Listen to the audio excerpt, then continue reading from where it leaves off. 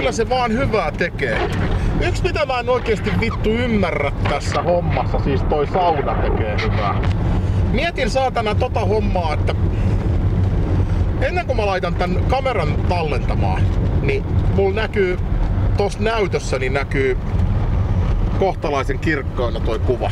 Mut sit kun mä laitan tän nauhoituksen päälle, niin se valoisuus hävisi jonnekin. Et minkähän, mikähän juttu tää on? Ihan kun tää kamera pystyisi tekemään parempaa kuvaa pimeässä, mutta ohjelmistollisesti on se saatana estetty. Et onks tää nyt vittu taas joku perkeleen kusetusjuttu, että kameroissa tehdään tälleen?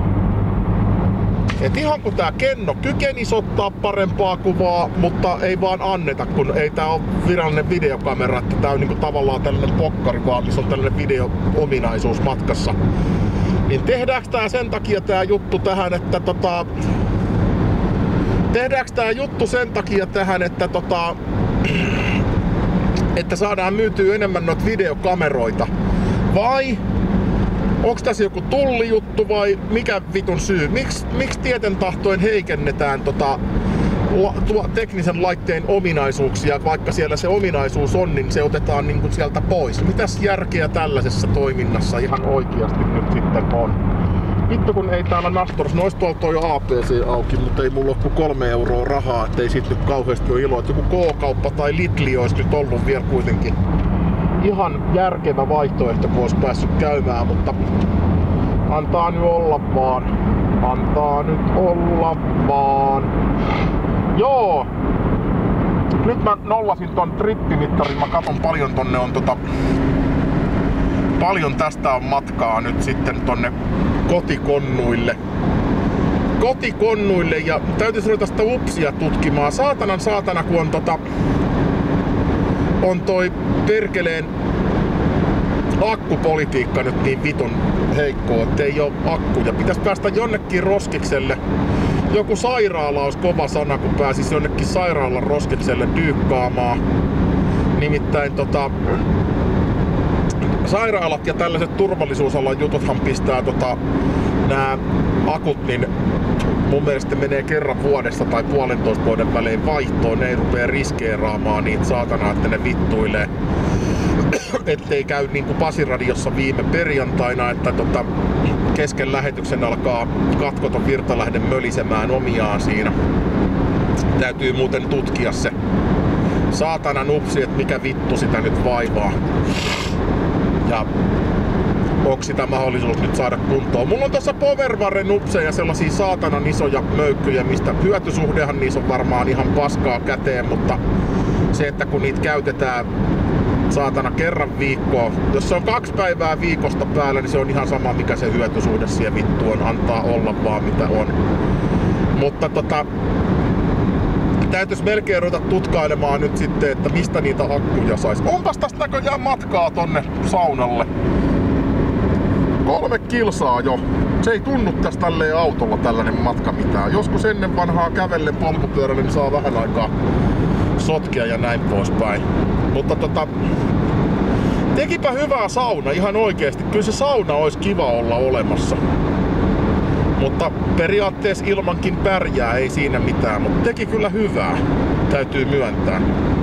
Onko tästä oikeasti muka näin? Viisi kilsaako tästä tulee? Nyt vasta alkaa niinku pikkuhiljaa olla sopeutunut tänne Nastolaan uusiin kuvioihin. Tuntuu siltä, että tuolla on jotkut bileet, saatana. Tuolla on jotkut bileet, mutta tota, katsotaan paljon katsotaan paljon täällä nyt saatana tätä hommaa nyt menee. Ja miten se menee. Tänään voisi rakentaa sitä upsia. Katsotaan mitä se, mitä se nyt sitten tekee. Että miksi se nyt sitten vittuilee. Onkohan sieltä akku paskana taas. Tää alkaa olla kyllä perkele, ne akut on nyt loppu saatana. Tosi ikävä juttu meinaa että ei saa akkua kuntooseen.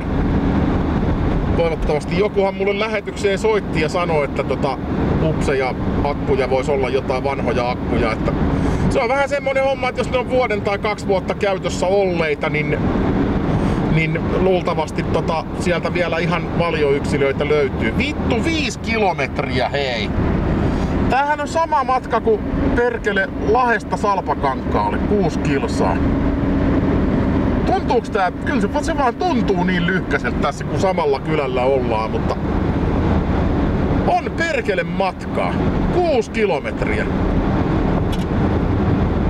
Ihan tommonen pikkuheitto. Kauanhan tässä kestäisi muuten kävellä tuolla. Kyllä se varmaan tunnin, tunnissa kävelee tämän matkan. Et jos ilma on kohdallaan, niin eihän siinä mitään ihmeellistä ole. Se kävelee ja käpyttelee, niin se on sillä siisti. Mutta tota, nyt mennään tänne ja mä lähden rakentaa, kuulkaa nyt sitä vitun upsia tässä, että joku ratkaisu. Mulla muutama akku on, toivottavasti siellä olisi edes vähän. Mutta kun siellä on yksi, kaksi, se pitäisi melkein siirtää se yksi tietokone. Pitäisi vittu saada nyt ne powervaret käyttöön. Se olisi ihan oikeasti ratkaisu ratkaisu tälle monelle asialle, mutta kun ei ole niitä perkeleen akkuja oikeesti. Ne olisi nyt kiva saada kyllä käyttöön.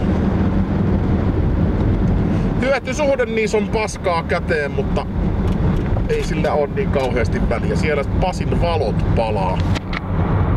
Täällä haisee paska. Siis sellainen viemäri.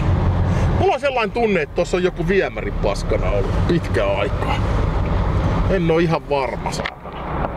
Eli 6,3 kilometriä oli matkaa näköjään tonne saunalle. Se on aika paljon meinaa. Mennään tähän tää autoparkki. Tähän tämä autoparkkiin noin. Joo, 6,3 kilsaa. Aika paljon siis.